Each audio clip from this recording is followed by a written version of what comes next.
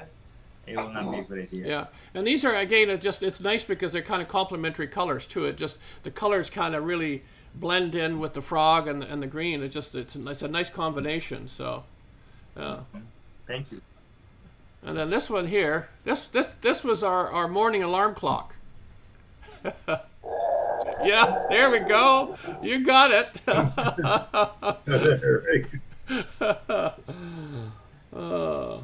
These are the uh, mantled howler monkeys. These guys are very, very cool.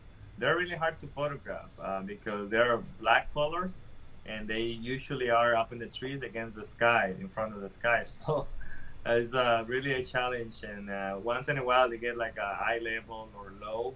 So you have a different background, but you know, you can get a, a better result uh, Yeah. with them. But in this case, uh, it was eating uh, fake leaves so it was very, very close. Actually,